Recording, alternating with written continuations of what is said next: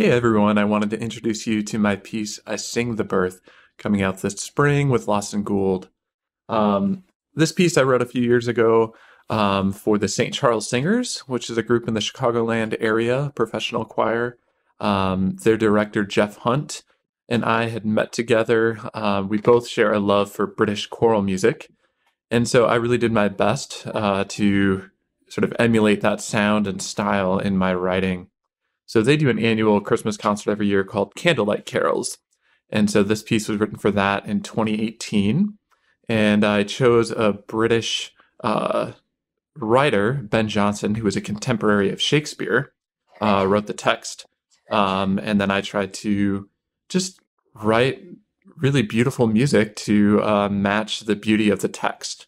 Um, it starts with just a unison line at the beginning, and the sopranos uh, can be done as a semi-chorus or a solo.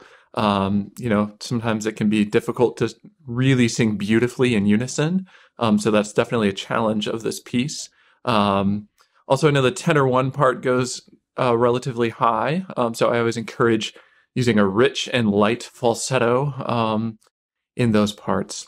Um, but overall, I hope that it's a beautiful addition to your uh, Christmas and holiday programs that it would be it's this piece is really all about beauty and wonder and that it would add that to your programs and to your lives